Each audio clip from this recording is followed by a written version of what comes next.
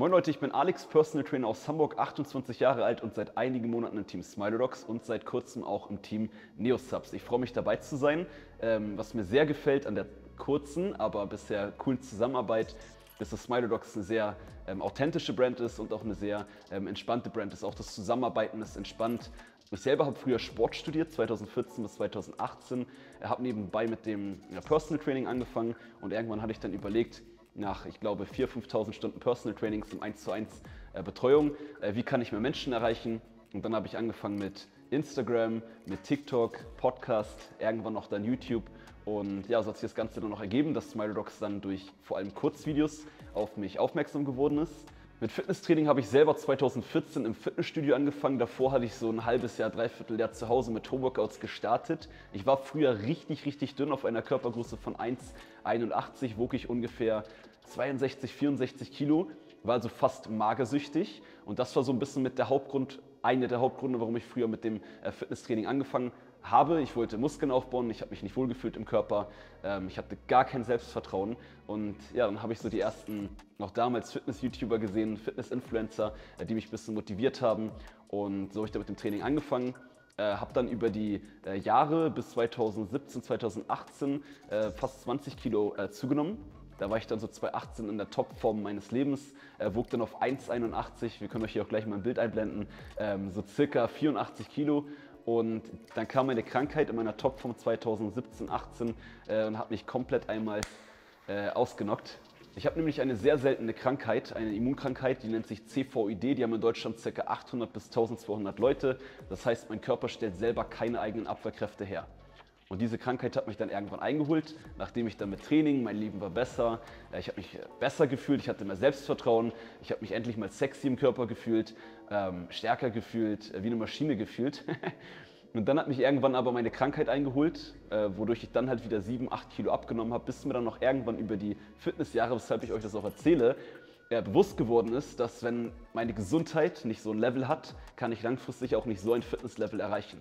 Ich wollte meine Anfangstrainingszeit sogar mal in die äh, Bodybuilding-Schiene gehen. Men's Physik war tatsächlich früher sogar mein Ziel in meiner Topphase, äh, bis ich aber dann halt wirklich irgendwann gemerkt habe, hey, äh, kurz, schnell ein Ziel zu erreichen in einem gewissen Zeitraum ist zwar cool, aber was ist eine langfristige Lösung? Weil was bringt mir das, wenn ich so und so viele Muskel, Muskeln wieder aufgebaut habe und dann wieder meine Krankheit kommt, wieder abgenommen? Und das ging halt tatsächlich auch mehrere Jahre so. Ich habe immer drei, vier, fünf, sechs, sieben Kilo zugenommen und jedes Mal war ich wieder krank, drei Monate krank, drei Monate krank, sechs Monate krank.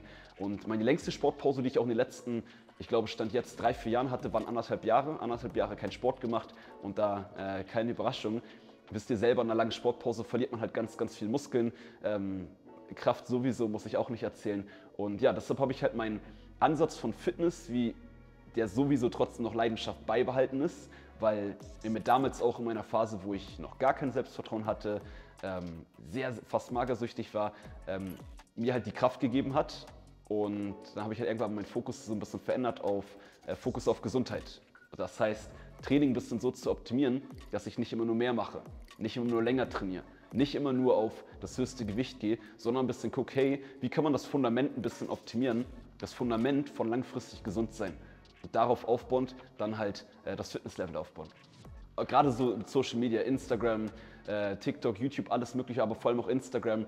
Alle sehen so perfekt aus. Jeder stellt sich immer so dar, als ob alles immer richtig gut läuft. Und genau das ist zum Beispiel auch ein Grund wegen meiner Krankheitsstory, die ich hinter mir habe, äh, weshalb ich auf Social Media auch ein bisschen einen anderen Ansatz fahre. Nur wenn ihr langfristig gesund seid, könnt ihr auch langfristig trainieren und langfristig eine Top-Form erreichen. Und das, was halt auch hinzukommt, nicht jeder von euch hat jetzt unbedingt eine Krankheit, aber es gibt viele Sachen im Alltag, gerade jetzt, ich sag mal an die Alltagssportler, die Sport neben ihrem Alltag machen auch vor meiner Fitness-Journey, nenne ich das mal, habe ich auch schon immer Sport gemacht.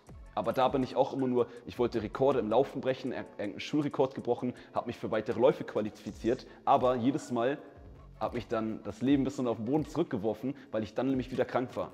Und wenn man auf Dauer, ihr kennt das selber, wenn man auf Dauer immer wieder, sorry für die Wortwahl, aber eine die Fresse bekommt, ähm, obwohl man richtig motiviert ist, sein Ziel hat und durchziehen möchte, äh, dann wird man damit langfristig auch nicht happy, nicht zufrieden.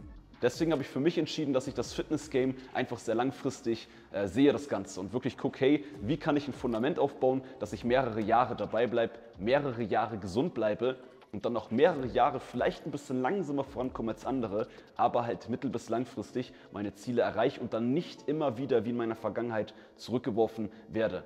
Und das ist auch das, das ist das, was ich vor allem auch denjenigen empfehlen, die ihren Sport halt wirklich neben dem Alltag machen. Also sagen, hey, ich will mich ein bisschen fitter fühlen, fitter werden, ich will ein bisschen Muskeln aufbauen.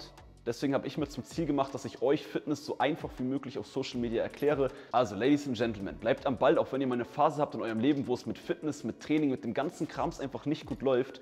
Schaut ein bisschen, was könnt ihr dann stattdessen machen. Versucht euch auch mal ein bisschen äh, nicht so Stress zu machen mit dem ganzen perfekten Fitness-Game, wie man es halt immer sieht. Gebt Gas, macht das, was ihr könnt und dann gibt es eine Phase, da läuft es wieder besser und eine Phase läuft schlechter, aber ihr werdet langfristig eure Ziele erreichen. Dafür ist äh, Team Smilodogs auch da, dafür bin ich auch da. Und in diesem Sinne, äh, gibt Gas, bis bald, haut rein.